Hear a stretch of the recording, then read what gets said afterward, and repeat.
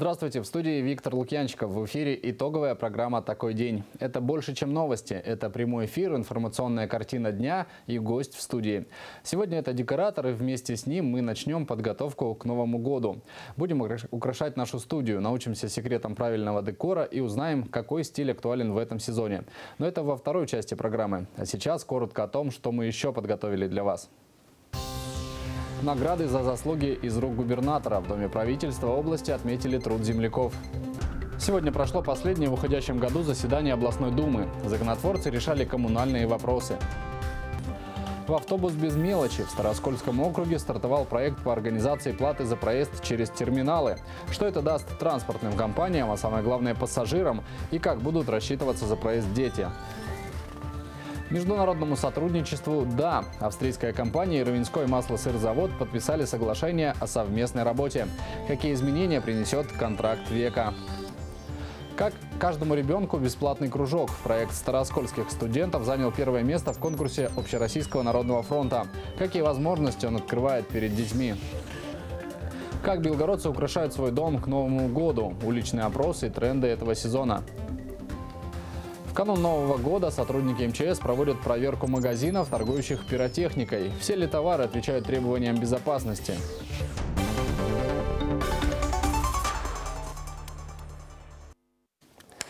Начнем выпуск с торжественной новости. Сегодня в Доме правительства Белгородской области федеральные и региональные награды были вручены тем, чей жизненный девиз «Созидать». Среди награжденных – политики, талантливые управленцы, ученые, те, кто добросовестно трудился многие годы. Высших федеральных наград Ордена почета за активную законотворческую деятельность достоин Василий Потрясаев, председатель областной думы. Медали за заслуги перед Отечеством первой степени Владимир Зотов, председатель Совета директоров группы компаний «Агробелогорье».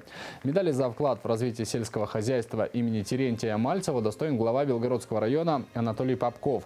А наша коллега Дарья Яготинцева, корреспондент новостного отдела «Мира Белогорья», за активное участие в общественно-политической жизни региона получила благодарность президента Российской Федерации. Значимые региональные награды. Высший знак отличия Прохоровское поле, третье ратное поле России второй степени, медали за заслуги перед землей Белгородской первой и второй степеней губернатор вручил 16 землякам. Среди награжденных начальник регионального управления МЧС Сергей Потапов.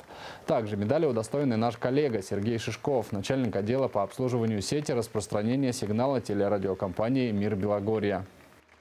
Дорогие друзья, от души поздравляю всех вас с высокими наградами. Славная трудовая судьба каждого из вас заслуживает не только медалей и званий, она достойна отдельной повести о настоящем человеке.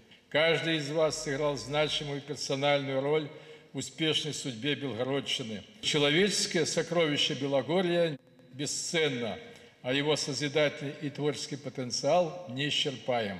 Желаю вам новых выдающихся свершений и побед. Поздравляю вас!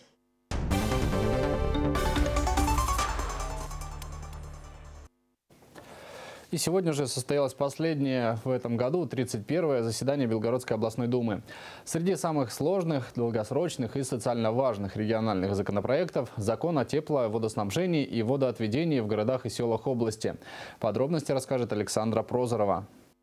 Ключевой в повестке дня стала тема жилищно-коммунального хозяйства. Единогласно в первом чтении, сокращая последующие процедуры, депутаты приняли изменения в закон, касающийся тепловодоснабжения и водоотведения населенных пунктов области. Ряд полномочий в этой сфере передан с муниципального на региональный уровень. Исключения составили Старооскольский, Губкинский городские округа и Прохоровский район. Для этих территорий выбран план частного управления. С остальными районами в 2019 году будет заключено единое концессионное соглашение. Консолидация этих объектов и полномочий по управлению этими объектами позволит обеспечить комплексное централизованное управление и контроль за модернизацией этих средств. В 2019 году запланировано заключение единого концессионного соглашения на весь комплекс объектов системы водоснабжения и водоотведения с областным оператором АО «Белводоканал», бывший ГУП. Тот, который успешно показал свою работу в рамках э, города Белгорода и Белгородского района. Сто процентов правительству принадлежит. Таким образом, уже с января 2019 именно правительство области будет отвечать за организацию водоснабжения населения в муниципалитетах, контролировать гарантирующие организации, согласовывать ремонт объектов их модернизацию или вывод из эксплуатации. И о другом законе дня. Сегодня депутаты окончательно утвердили главный финансовый документ региона на будущий год. К итоговому чтению основные его характеристики – прогнозируемые доходы – 87,5 миллиардов рублей, расходы – 91,5 миллиард. С учетом внесенных поправок и доходные и расходные части увеличились примерно на 6 миллиардов рублей. Александра Прозорова, Евгений Кравцовский. Такой день на мире Белогорья. Безналичная оплата проезда в общественном транспорте уже есть на некоторых маршрутах в Белгороде и в Губкине, а теперь и в Старом Осколе. В округе подошли с размахом. В ближайшее время все 470 единиц общественного транспорта будут оборудованы терминалами для безналичной оплаты. Даже на пригородных маршрутах, где стоимость зависит от километража.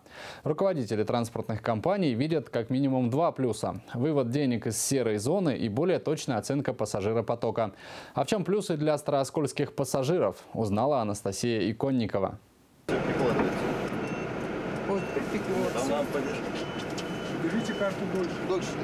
Для осуществления оплаты терминалу необходимо около трех секунд. Это даже меньше того времени, которое вы потратите на подсчет мелочи и передачу ее водителю. Удобно, но для пассажиров, да и водителей Старого Оскола непривычно. Александр Проскурин за рулем маршрутки 14 лет и нововведение оценил по достоинству.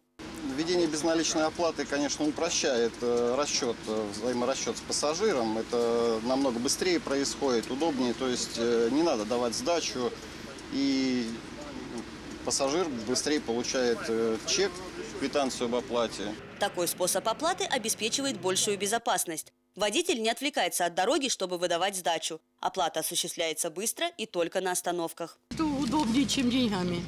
Чем удобнее? Ну да я приложила карточку, да пошла. А деньги это надо искать, где-то сдача какая-то, какую-то мелочь где-то искать. А бывает такое, что денег нету наличных в кармане.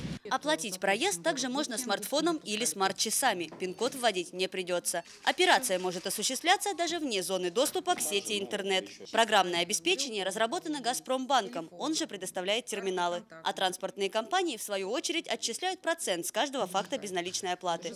Предусмотрена и возможность расчета для детей младше 14 лет. Можно выпустить полноценную банковскую карту, но, естественно, это э, с, от, от, от имени родителя, если ребенку 8 лет и больше.